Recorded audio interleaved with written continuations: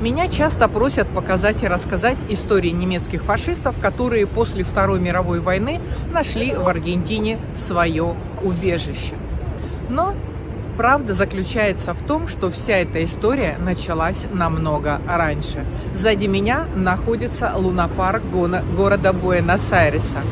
В марте 1938 года здесь состоялось самое большое мероприятие сторонников немецкого нацизма за пределами Германии. Тогда, в марте далекого 1938 года, еще до начала Первой мировой войны, здесь, на стадионе этого а, лунопарка, собралось более 20 тысяч сторонников Третьего Рейха. Они праздновали присоединение родной Гитлеру Австрии к Германии. На большой сцене стояли 44 знаменосца, одетые в коричневые рубашки и повязки со свастикой.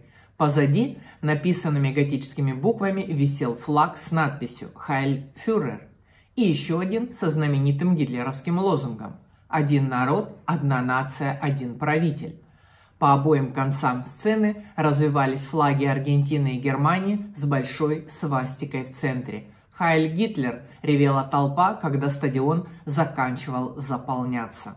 Что же тогда происходило э, в Европе? Дело в том, что в 1938 году Гитлер решил объединить Германию и Австрию, да, вот под этим лозунгом «один народ, один правитель».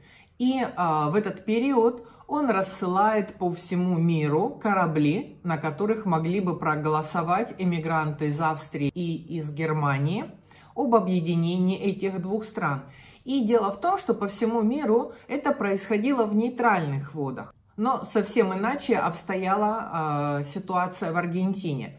Дело в том, что на тот момент в Аргентине проживало уже порядка 300 тысяч этнических немцев. Это была третья по численности этническая группа на территории Аргентины после Испании и Италии. И на тот момент уже действовало очень много немецких школ, немецких различных общественных учреждений. Да что там говорить, на тот момент в Аргентине уже а, действовали немецкие националистические организации. Так вот, а, голосование о объединении двух стран для немецких эмигрантов, проживающих на территории Аргентины, происходило уже непосредственно на территории Аргентины, на суше, а не в нейтральных водах, как это было а, с другими странами, на территории школ, многочисленных школ немецких, которые были на тот момент на территории Аргентины.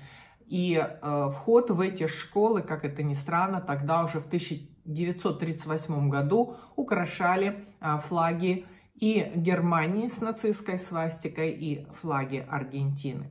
О том, какие знаменитые э, военные преступники скрывались на территории Аргентины по окончанию Второй мировой войны, я вам расскажу в следующем видео. Материал уже мной собран огромнейший, подготовлен. А сегодня в этом видео я хотела бы с вами рассказать и поговорить на тему а почему такое количество военных преступников, причем самых опасных э, преступников, самых знаменитых преступников, нашли свое пристанище именно в Аргентине? Что происходило в Аргентине перед началом Второй мировой войны и во время Второй мировой войны? Именно об этом будет мое сегодняшнее видео. Это не история нацистских военных преступников, которые нашли свое прибежище в Аргентине после того, как к власти в стране приходит Хуан Перон после участия в ужасных преступлениях против человечества, которые они совершали во время Второй мировой войны. Это история о другом. Это история о решительно настроенных нацистских немцах, проживающих на территории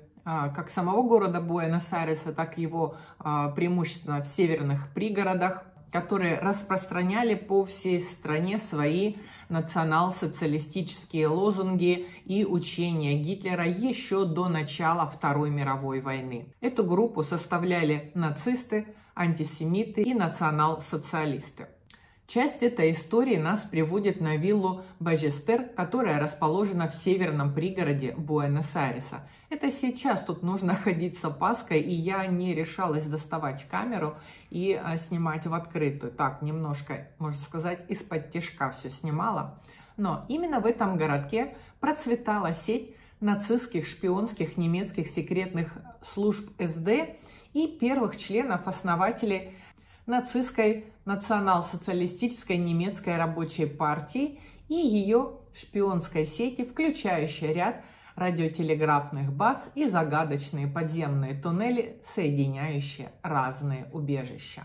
В самом центре этого города в 30-40-е годы проживал Карл Фандрич, агент нацистской шпионской службы, как он себя представил, когда его арестовали в 1945 году. В соседнем городе Сан-Мартин у него был знаменитый книжный магазин с большим ассортиментом книг нацистской направленности, порядка 10 тысяч экземпляров. Дело в том, что у Фандрича была и своя типография, поэтому мог развернуться. В этой книжной лавке собирались члены немецкого трудового фронта, нацистской профсоюзной организации, которая в 1941 году насчитывала на территории Аргентины более 10 тысяч членов. Откуда такие цифры? А, дело в том, что Третий Рейх был тоталитарной диктатурой, которая стремилась формировать своих подданных, где бы они ни, ни находились. Поэтому в то время членство в нацистской организации было почти вопросом быть или не быть. Отсюда и столько сторонников этого режима. Поклонники фюрера проникли в немецкую систему образования на территории всей Аргентины. На тот момент, к началу Второй мировой войны, в Аргентине было порядка 200 немецких школ, в которых обучалось около 13 тысяч детей. А на входах а, в эти школы висели как аргентинские флаги, так и немецкие флаги, и уже со свастикой в центре этих флагов. Кроме того, а, в самих школьных помещениях рядом с портретами великого освободителя всей Аргентины Хосе Сан-Мартино висели портреты фюрера. То есть уже в тот период дети, которые получали образование, немецкие, понятно, дети, да, дети немецких иммигрантов, которые получали образование а, в немецких школах, их полностью пичкали вот этой вот нацистской идеологией Третьего Рейха. Кроме того, в этих школах, в учебниках, а, которые были написаны на немецком языке, в учебниках географии говорилось о том, что население Аргентины состоит только из индейцев и их потомков и из немцев.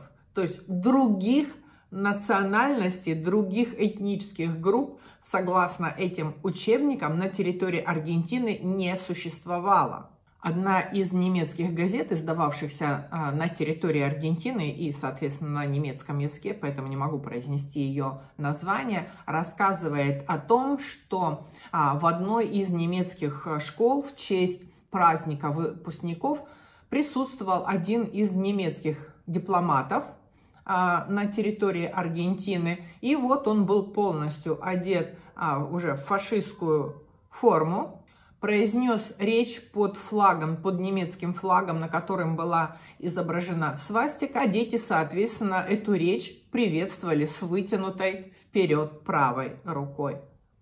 Вот такая ситуация была на территории Аргентины к началу 1938 года. А что же правительство? А в этот период уже правительство тогдашнего президента Роберта Ортис получает огромнейшее давление извне, и поэтому он просто вынужден был вмешаться в работу иностранных школ, которые находились на территории Аргентины. Но ведь зерно уже было давно посеяно. Тем не менее, правительство Аргентины добилось того, чтобы, чтобы прекратить денежный поток с территории Германии, который финансировал деятельность всех вот этих немецких не только школ, но и прочих а, социальных учреждений, которые существовали на территории Аргентины. И а, в Аргентине началась целая прям культура отмены отмены немецкой культуры. Люди подозревали каждого, кто говорил по-немецки. Дошло даже до того, что а, в тот период на территории Аргентины проживало 50 тысяч евреев, которые были выходцами а, с территории Германии, которые, соответственно, тоже говорили на немецком языке. Вот даже они попали под ту раздачу, которая началась э, в Аргентине уже э, где-то примерно 39-40 год, ближе к началу э, Второй мировой войны. Аргентинцы не очень любят поднимать эту тему в сегодняшнем времени, да, это касается и местных фашистов, которые проживали на территории Аргентины до Второй мировой войны, а, не любят поднимать цен, не любят поднимать тему о приеме военных а, фашистских преступников после Второй мировой войны. Но откуда известны такие вот подробности, что на самом деле происходило в том или ином месте, да, я в следующем видео вам покажу некоторые дома, в которых проживали самые э, опасные преступники, самые кровавые преступники Второй мировой войны, которые нашли свое убежище на территории Аргентины. Поэтому, кто еще не подписан на мой канал, подписывайтесь. А следующий выпуск будет э, очень насыщенным, а, со страшными историями, которые происходили здесь, на территории Аргентины. Так вот, откуда же а, сегодня все это известно? Дело в том, что есть некоторые смелые журналисты, которые занимаются этими расследованиями, и а, побудила их к этим расследованиям, особенно вот на вилле Бажестера, о которой я сегодня в том числе рассказываю, это то, что в 1990-х годах там произошло несколько обвалов домов или части домов, э, стен домов в те самые туннели, которые были прорыты немецкими э, эмигрантами, которые состояли в этих национал-социалистических а, немецких партиях. Они прорывали эти тоннели, чтобы можно было между собой как-то там общаться, перемещаться, потому что, как я уже только что сказала, что э, со второй половины 1938 года начинается политика запрета, э, начинается политика отмены вообще немецкой культуры, и сторонникам Третьего Рейха приходилось как-то а, шифроваться, приходилось прятаться. Именно поэтому под этим городом были прорыты целые тоннели, огромнейшие тоннели, но время идет, и через, получается, сколько там, 60 лет, да, тысячи, они были построены, тоннель в конце 1930-х годах, а в 1990-х годах некоторые дома начинают обрушаться в эти тоннели. Есть тоже конкретные адреса. Я вот вчера, когда начала делать подводки к этому видео, ходила там, но, если честно, никакого желания э, достать камеру и снимать э, у меня не было. Ну, достаточно опасные районы на сегодняшний день. И вот когда в 1945 году заканчивается Вторая мировая война, и нацисты пали не в милость абсолютно по всему миру, соответственно, и на территории Аргентины, потому что тогда еще к власти не пришел Хуан Перон, это будет а, годом позже. По всей стране начинается полная отмена нацистов, а, полная отмена вообще, можно сказать, немецкой культуры. Очень многие немцы в этой вот, а, на территории этой Вижи Бейштера вынуждены были продать свои дома и разъехались по всей Аргентине, а кто-то уехал и в другие страны. А с тех пор как бы начинается новый этап в истории этого населенного пункта, который говорят, есть старый Бейштера, это относится к тому периоду, когда там, э, когда там в основном проживали немцы, и там вот этот процветал нацизм. А сегодняшний социум этого населенного пункта, естественно, он старается как можно дальше отдалиться от той самой истории. Да, очень многие новые хозяева, владельцы домов, которые покупали их у немцев, они знали, у кого они их покупают но они даже и представить себе не могли, что иногда а, скрывается за стенами их домов.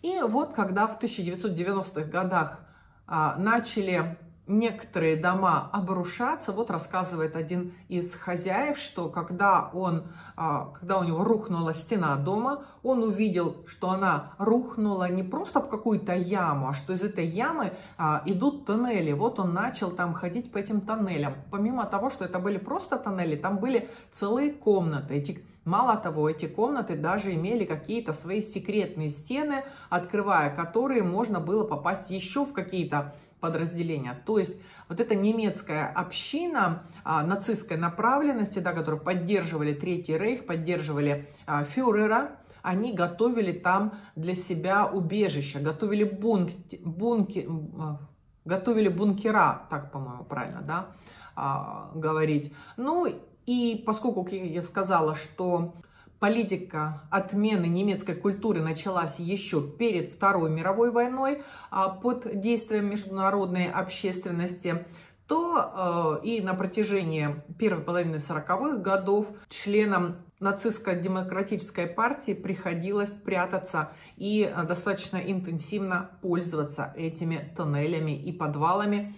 И вот эти туннели, они соединяли между собой очень многие дома, не только на одной и той же улице, но и на соседних кварталах. Во времена Второй мировой войны за фашистскую Германию ушло воевать полторы тысячи аргентинцев. На стороне союзников воевало четыре тысячи. За моей спиной находится дом, как видите, он в немецком стиле, сохранившийся до сегодняшний день. А в 30-е годы проживала э, семья Шекенбах. Ее глава Вилли Шекенбах родился на территории Германии, а вот оба его сына уже родились непосредственно в этом доме. Вилли Шекенбах был активным участником немецкой фашистской организации на территории Аргентины.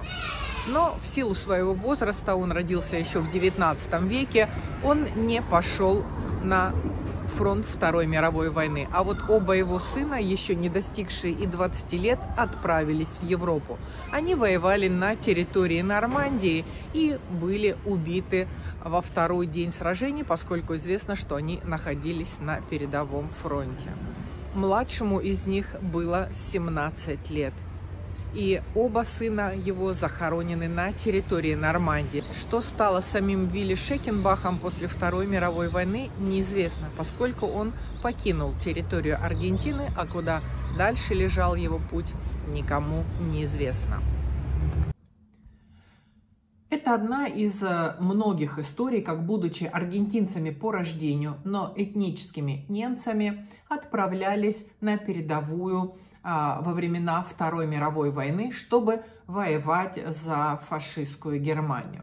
Таких историй было порядка полутора тысяч. Это истории абсолютно молодых парней, которые выросли в окрестностях Монро или Бейстера и которые отправились в Европу, чтобы найти там свою смерть, сражаясь за идеи национал-социализма. О них очень мало что известно в силу того, что Германия является а, проигравшей стороной, а потому а, большая часть семей, кто потерял своих детей, а, уехавших в Европу воевать а, за Германию, они просто об этом не рассказывают, да, в силу стыда, стыда за то, что сколько горя принесла Германия и что их дети сражались за страну, которая совершила столь ужасные преступления. И потому тысячи историй, они останутся просто погребенными в глубине веков.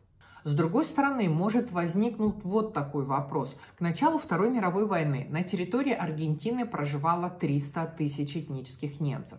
200 тысяч из них уже родились на территории Аргентины, а потому свое образование они получали а, в местных немецких школах, в которых, как я уже рассказывала, все образование было просто пронизано идеями Третьего Рейха, идеями национал-социализма около 90% немецких а, различных культурно-просветительских учреждений, школ, клубов и так далее, они просто были полностью в духе Третьего Рейха. Вплоть до того, что, как я тоже уже об этом говорила, а, на входе в школу висели не только аргентинские флаги, но и немецкие красные фашистские флаги а, со свастикой посередине. И в школах также висели портреты Гитлера. Почему так мало а, аргентинских немцев отправляется воевать за Германию? Дело в том, что моря и океаны в тот период, в период начала Второй мировой войны, они не были свободными. Они полностью контролировались военно-морским флотом Англии. И вот эти корабли, они просто следили за тем, чтобы а, этнические немцы в том числе проживающие в разных странах Южной Америки и где-либо в других странах, чтобы они не попадали в Европу. А, но, тем не менее, а, не все полностью было под блокадой Англии. Были некоторые свободные торговые пути, которые в основном использовались испанцами и португальцами. И вот именно на вот этих вот испанских и португальских кораблях безбилетниками аргентинские немцы попадали на территорию Европы. Почему безбилетниками? Ну, потому что также э, эти корабли частично контролировались англичанами, и поэтому прибывать на них э, с билетами, которые были куплены на немецкие имена, было невозможно. Поэтому вот так вот э, зайцами достаточно сложно этнические немцы, проживающие не только в Аргентине, как я уже сказала, на территории всей Южной Америки и в других странах, но э, мой блог все-таки это блог о Южной Америке и об Аргентине. Э, такими путями они попадали на фронта Второй мировой войны. И да, как я уже сказала, еще 4000 аргентинцев сражались на стороне союзников, то есть против а, фашистской Германии. Именно вот такая а, идеологическая обстановка, которая сложилась в Аргентине к началу Второй мировой войны, она и послужила тем, что на территории Лунапарка а, проходило вот это вот ужаснейшее мероприятие, в котором участвовало 20 тысяч человек, которые а, под флагами фашистской Германии, скандируя приветствие фюреру, распевали гимн Аргентины. И именно вот эта ситуация, она и послужила тому, что на территории Аргентины а, была, можно так сказать, благоприятная почва а, к концу Второй мировой войны для приема здесь одних из самых страшных военных преступников, которые после Второй мировой войны нашли свое убежище на территории Аргентины. Об этом будет мой следующий выпуск, который выйдет на следующей неделе. Так что не забывайте, подписывайтесь и задавайте под этим видео свои вопросы, которые... Потому что материала огромное количество, которое я могу осветить, рассказать. Поэтому пишите все, что вас интересует. А, самые интересные вопросы буду собирать. И а, сделаю еще отдельный выпуск с ответами на ваши вопросы, как под этим видео, так и под следующим, которое в котором я расскажу а, о тех фашистах, которые нашли свое убежище в Аргентине и о том, находился ли на территории Аргентины Гитлер или нет, откуда пошли все эти теории а, и так далее. То есть будет очень много интересного в следующем выпуске. Так что до новых встреч. С вами была ваша Елена Вивас.